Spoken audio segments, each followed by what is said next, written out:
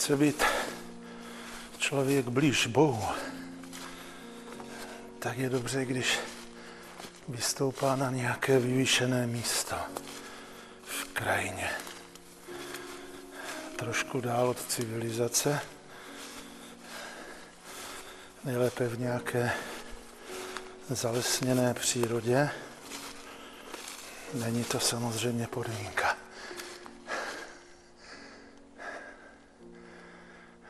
Krásný západ slunce. V poslední době možná ti citlivější vnímají, jak stoupá takový zvláštní tlak, jakoby neurčitý. Prostě pocit, který před pár lety ještě neměli.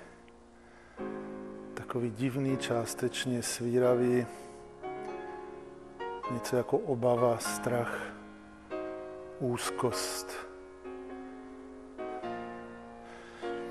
A neví si s tím lidé rady, když by měli definovat, čím to je, tak mnohý z nich ani nedokáže přesně určit, co je toho příčinou. Proto je dobré občas oprostit se od všech těch povinností a starostí a zhonu a šílenství současného světa, který zjevně spěje ke svému konci neslavnému a postavit se taky v přírodě a rozhlédnout se po krajině.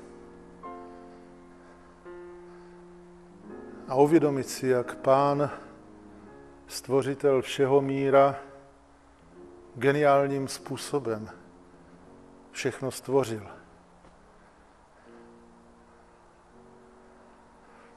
A v té naší přírodě, i když se říká, že je hodně zničená lidskou činností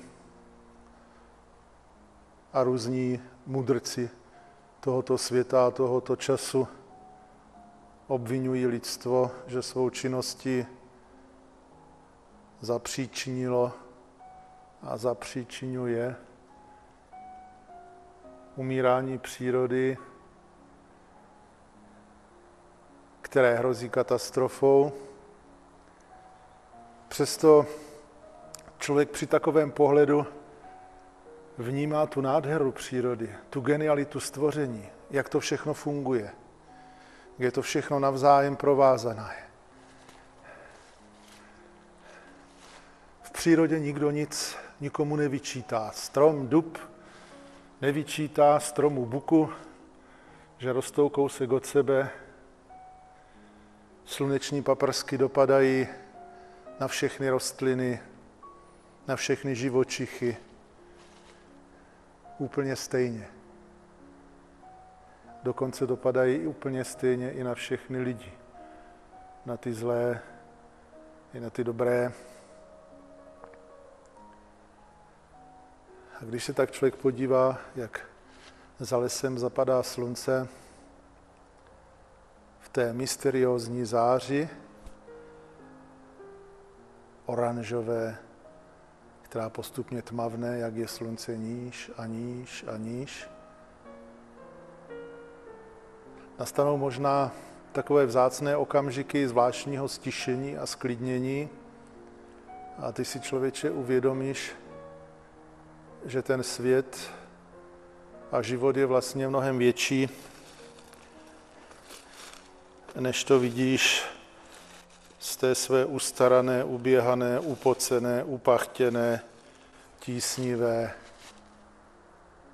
pozice v tom každodenním životě. A to, co nás tísní, to, co nás tíží, to, co vyvolává ten zvláštní tísnivý pocit tady někde v hlubině srdce je nedostatek radosti a je nedostatek naděje, anebo úplná absence naděje Člověk nevidí světlo, člověk vidí tmu, šero, olověný příkrov, který padl na všechny jeho cesty, všechny jeho časy, všechny jeho plány, na celou mysl. A ten nedostatek radosti a ten nedostatek naděje, ten je způsobený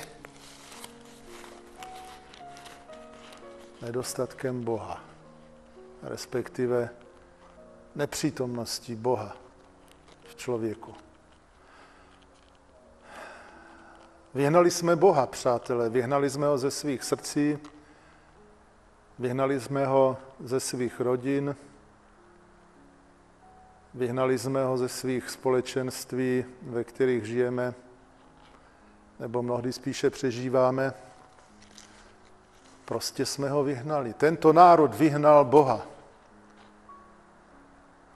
Proto tolik frustrací, proto tolik psychických poruch, proto tolik sebevražd, kterých přibývá.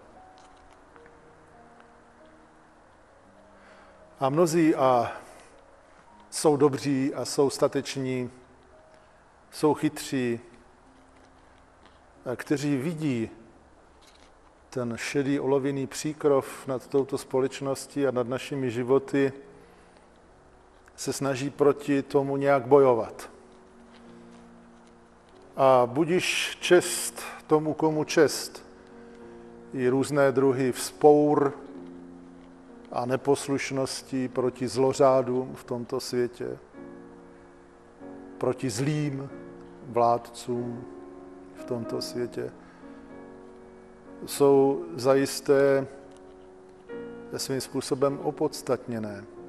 Ale oni sami o sobě nemohou vyřešit ten problém, který máme.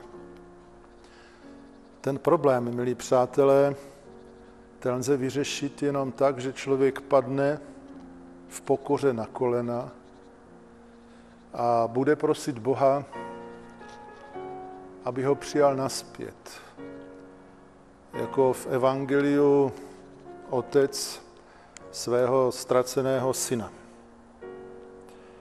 Pokud se totiž nevrátíme k Bohu, nevrátíme k Otci, nevrátíme k jeho božskému řádu ve stvoření, jestliže se opět nestaneme poslušní, jako byli kdysi naši prarodiče Adam a Eva v ráji, než padli do hříchu, než projevili tu tragickou neposlušnost, oklamání satanem,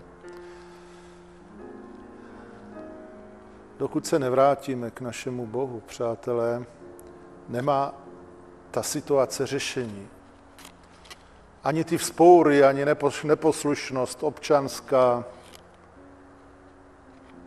nemůže tu situaci změnit. Někteří si myslí, že ano a jsou stateční a bojují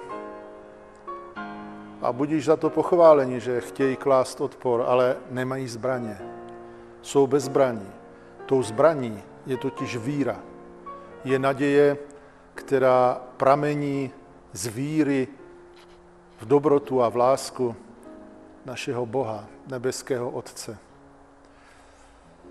A takhle, dokud se národe nevrátíš zpět ke svému Otci, vše je marnost a marnost a marnost.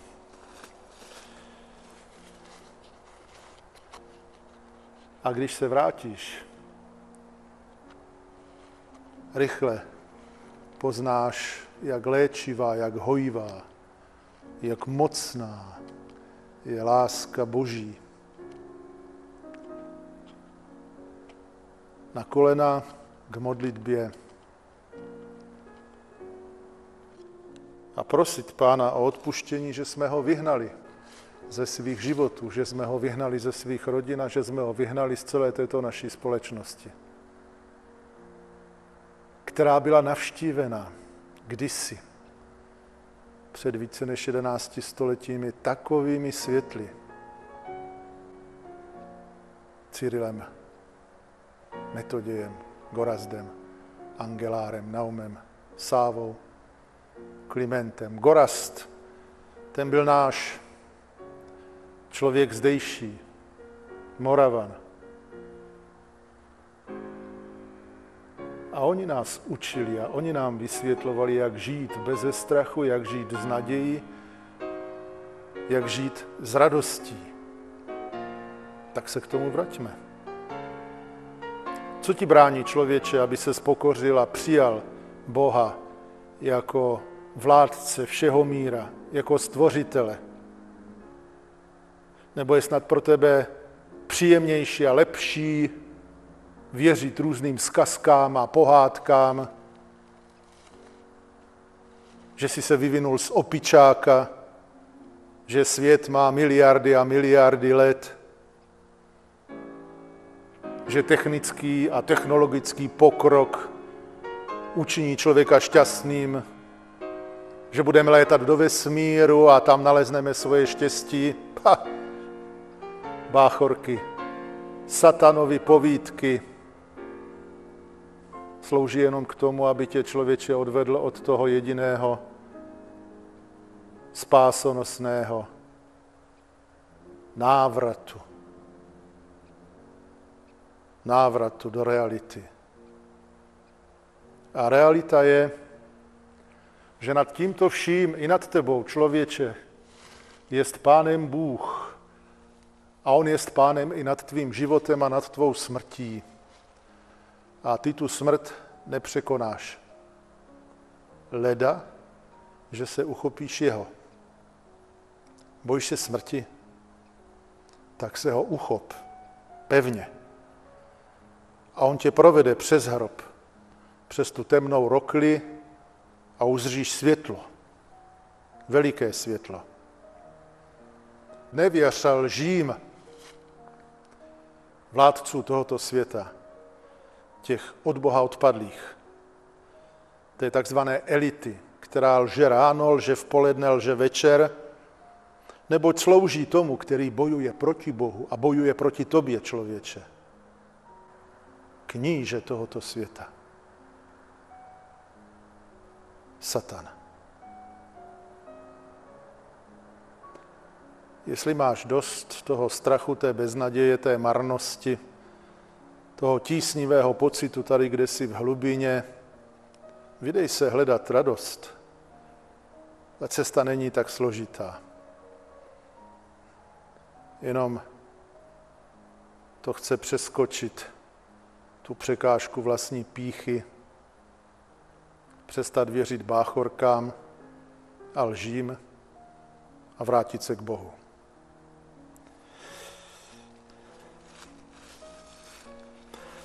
Poznali to už stovky, tisíce, sta tisíce těch, kteří těm báchorkám přestali věřit, báchorkám mocných, domněle mocných, vrátili se k Bohu, nalezli Boha, padli před nebeským Otcem a nalezli světlo, nalezli radost, nalezli naději. Mnoho je těch, kteří nás předešli a našli cíl své cesty. Otevři ty dveře a vstup do nich. Ty dveře jsou Ježíš Kristus. Když jimi vejdeš, tak výjdeš a pastvu, neboli světlo, neboli naději, neboli radost, neboli věčný život nalezneš.